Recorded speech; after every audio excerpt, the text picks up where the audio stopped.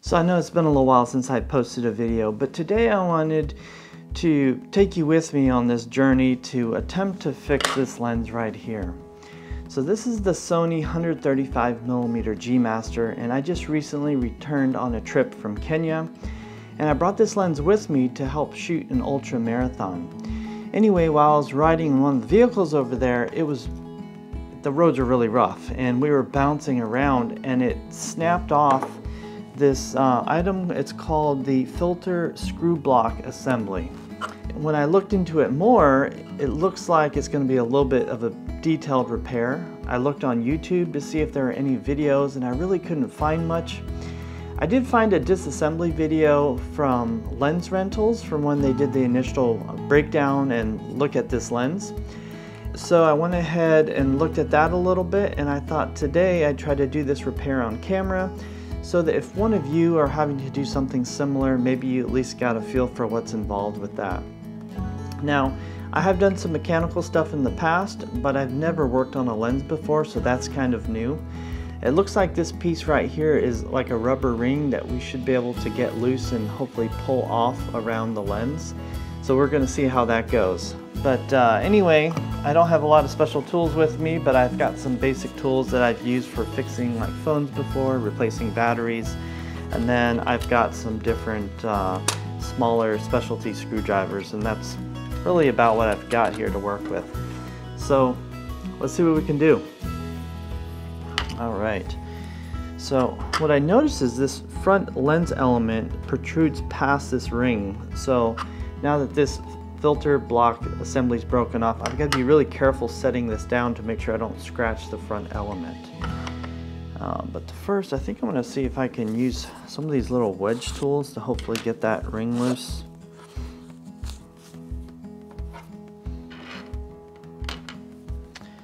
It is like a $2,000 lens, which always makes me a little bit nervous, but gotta be a way to get this loose.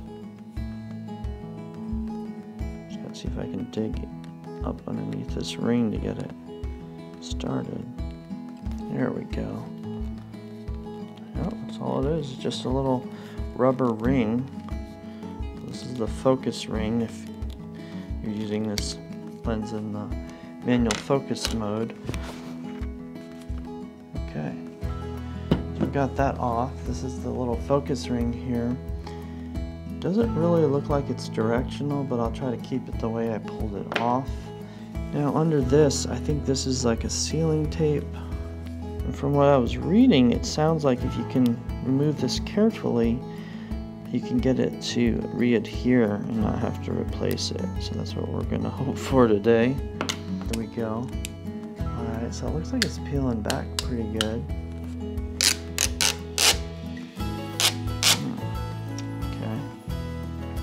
Straightforward so far.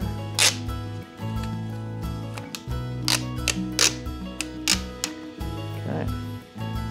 Alright, we got that loose.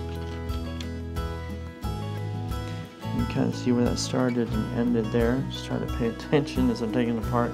So there's a little like ridge there, so it started right at the edge of that and ended right in front of it. Now, oh, this ring turns. So there we go. I think what we have to do is find these screws here. Uh, let's see, looks like it's a small Phillips. So I was looking at this lens repair and when I was looking online it sounded like it was going to be like a four or five hundred dollar repair and I was just like wow just to replace this ring element piece that broke off it just seemed kind of like a lot to me okay there's one so I was like, how difficult could this be? Hopefully I'm getting the correct screws. So I noticed that there's these darker screws and these lighter screws. So I'm starting with just taking out these darker screws. There should be four of them. There we go. There's the third one. I probably should have done a little bit more homework before I took this apart. I looked at the article like several weeks ago and then didn't look at it real closely recently. Alright, so I'm just going to take a look here at this new fil screw filter screw assembly. So just out of curiosity, in case you're wondering, I looked around. There's not that many places to order the part from. Uh, I think I think I ended up going with eBay, and I think it was $158 for this replacement part. I just want to look at it a little closer to see where the screws are at on this. Okay, so I probably do need that silver screw because it was close to the other dark screw screws. So there's one here, one here, and then there's two here. Now it looks like three of them are recessed and then the fourth isn't, which I'm guessing is that light silver screw I saw when I spun this around. So we're going to see if we can find it again. So I have to say, initially I was a bit intimidated about trying to do this repair, but I felt a little bit better after I found that article, but Okay, there's the fourth screw. Okay. Now, from looking at this and from what I read, there's a, another little like notch or groove here on these uh, little tabs. And I think what it does is it probably twists and comes off. Oh, there we go. Whoop, and there's a little O-ring that popped out. So I don't know if you can see that there. There's this blue O-ring that seals the front, I guess you call it lens element. So, darn. Thing popped out. Hopefully it won't be too much of a pain to get it to slide back in there.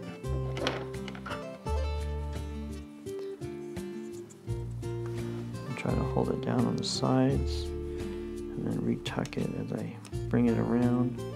Definitely do not want to break it that would uh, set us back in having to get a replacement one. Oh, the other side popped off.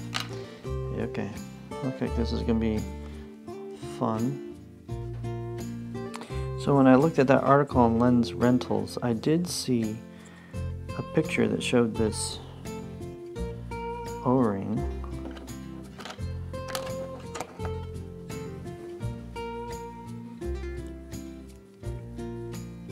So what I'm trying to do here, hopefully my head isn't blocking your view too much. Oh, I think we got it back on there.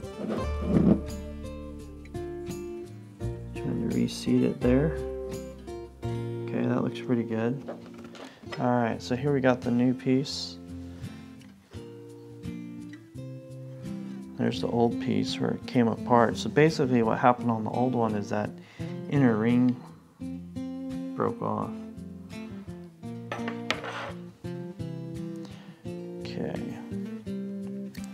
That had the filter thread on it. So now I think I need to refine. Okay, there's one hole. Two. Okay, these are where the two holes were. So I'm going to use that as the help me get to help me get close to the alignment there. Okay, so it's sitting on there, but it's not seated all the way. I don't know if I need to spin it one way or the other. There we go that just dropped in there. Okay, so that hole lines up. So I think what I'm going to do is I'm going to start the one screw, which was that silver one that wasn't recessed, first. Now what I'm doing is I'm not fully tightening those screws down yet until I get them all threaded in. Because my thought being, uh, if I snugged it down and it wasn't perfectly lined up, you know, maybe you would want to cross thread some of those other ones. Okay. Alright, so looks like this ring right here basically just helps seal the lens because there's some open areas where I guess you can get it in there some more uh, probably for disassembly.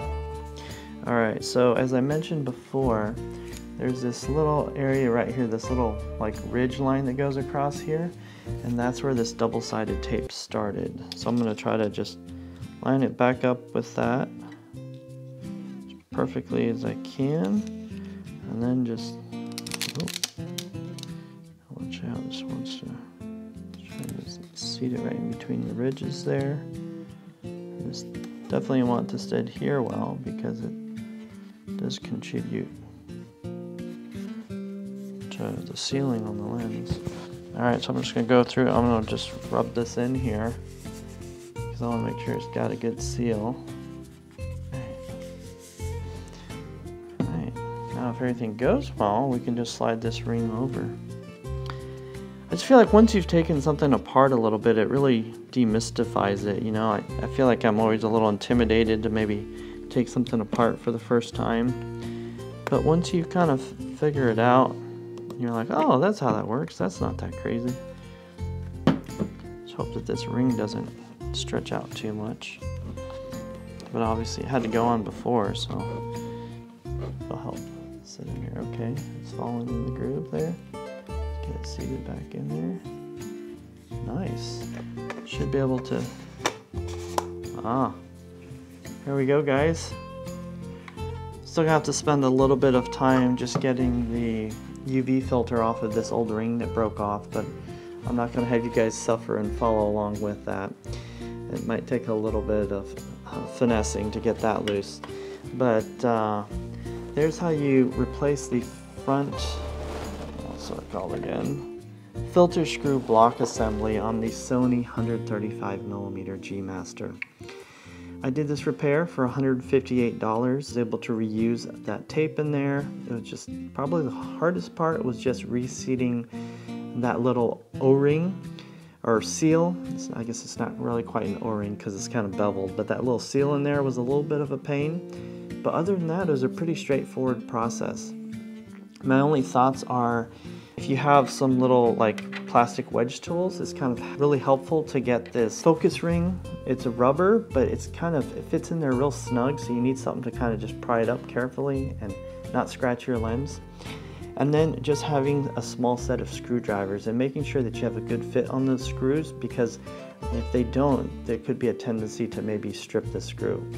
But other than that, it's a pretty straightforward process to fix this lens. So now I can put my 135 millimeter G Master back into service, fully functional, for $158 instead of having to send it into Sony or somewhere and spend three to four hundred dollars to do a simple repair like that. Anyway, I hope you guys found this useful, and if you guys have any thoughts or tips, please share them below.